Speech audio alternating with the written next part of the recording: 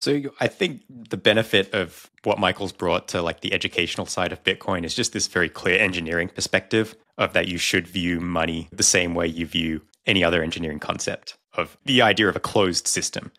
You know, how can you possibly measure things over time with with integrity, with precision if, you know, the denominator is constantly in flux. And that's something that, you know, Bitcoin is new before before Michael, but just framing it in that engineering way of these, the idea of an adiabatic system where energy is neither leaving or nor entering a system.